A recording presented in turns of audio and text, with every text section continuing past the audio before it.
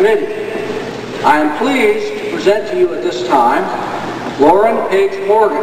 Lauren, would you please come forward?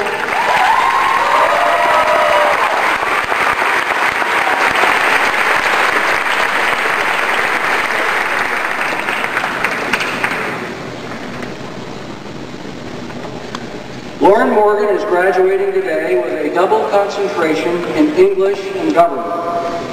She has served as chair of the undergraduate council and the student government, as well as a class officer for each of the past four years. She is one of the college's most energetic and enthusiastic students. And Lauren, in the words of one of your friends, you are the queen of tribe pride. She has chaired Family Weekend and the Homecoming Committee, given countless tours for the Office of Admissions, and devoted a great deal of time to community service. And she has also served this year as a President's Aide. I'm pleased to present to you Lauren Morgan, student speaker for the class of 2001. Yeah.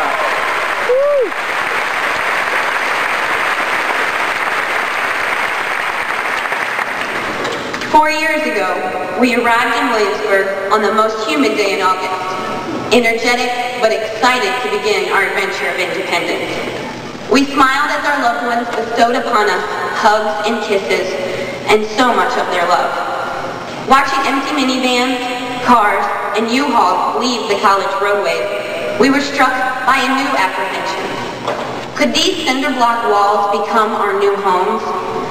On opening convocation, our fears subsided as we walked through the hallowed arches of the Wren building into the open and loving arms of our new family. Each welcoming smile and look of affirmation gave us a renewed sense of comfort and belonging. Becoming a member of the William Mary family at first seemed so effortless. Each time we stumbled, our college lifted us up again by the patient arms of our upperclassmen and faculty.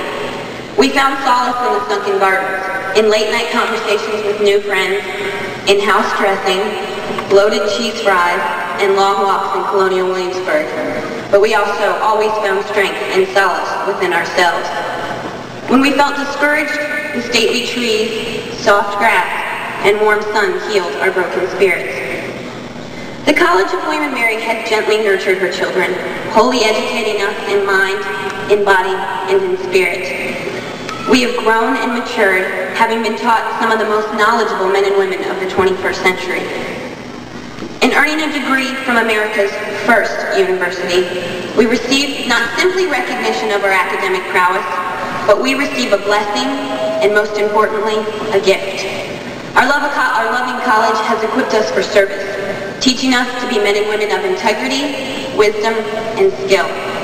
Our own families are exceedingly proud of what we have accomplished, but so too is our William and Mary family, and rightfully so, for in the last four years, we have become more than mere students. We have 88 undergraduates who have received the highest academic of honor into Phi Beta Kappa. 167 graduating law students will go on to become some of the finest legal minds in the United States. This afternoon, 185 scholars will receive a master's degree and 38 will receive a doctorate from one of the finest universities in America. 75% of the William Mary family commits itself to service outside of our brick walls through the Alan Bukzin Memorial Bone Marrow Drive, but we have also evidenced that we will help our own through the student-led living wage campaign.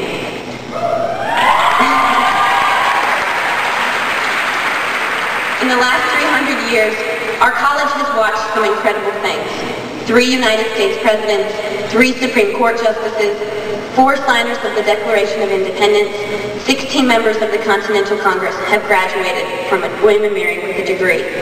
It is no wonder that the College of William & Mary has been named the alma mater of the nation. Today, we go forth to join them in leading our great nation. Our college is proud of what we have achieved, but most importantly, our college is proud in who we have become. Today, May 13th, 2001, is the College of William & Mary's most glorious moment. Just as the College of William & Mary, like a proud parent, had boasted of our achievements for the last 300 years, so too will she boast of ours. William Mary takes pride in each man and woman who graduates today with honors. She remembers the blessing of last fall's hurricane and of last year's most wonderful and joyful blizzard. She delights in our new bookstore. She's excited about the daily grind, the completed construction of Swem Library, and the $95,000 for the senior class rates this year. Our college is most excited that our loved ones could join us today and so proud to have such prestigious commencement speakers joining us in celebration. I wonder as we walked through the Wren building this morning and took our seats here on William Mary Hall floor, did our college, our friends, and our home shed tears of sorrow and regret for our departure, just as our families did on that most humid day in August four years ago? For most of us, today marks the end of our formal William and Mary education. My hope and my prayer for each graduate is that he or she will know the satisfaction of a job well done and the peace of a completed journey. As a child, many of my days ended with the classic children's tale, Goodnight Moon. Margaret Wise Brown shares in Goodnight Moon that in each ending there is joy, there is peace, and always a hope for a new beginning. As we leave the College of William Mary, our alma mater, may we be proud of what we have accomplished. May we be confident that we have fulfilled and surpassed the legacy of greatness that preceded us.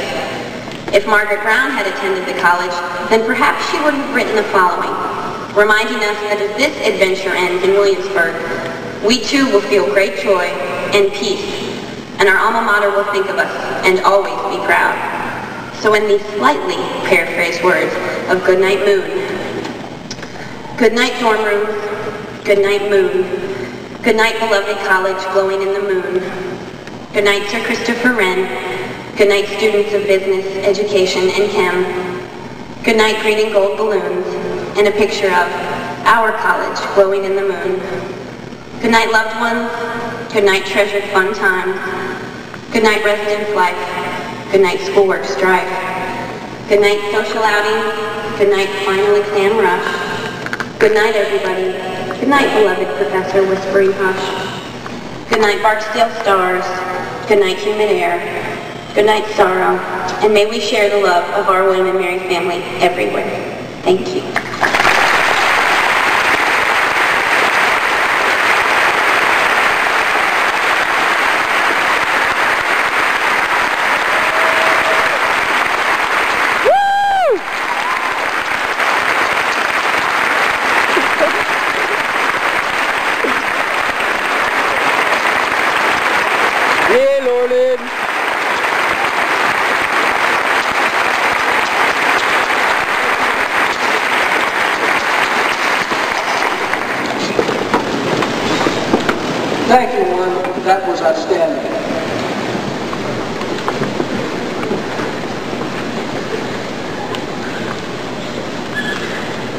Will now proceed with the conferring of earned degrees.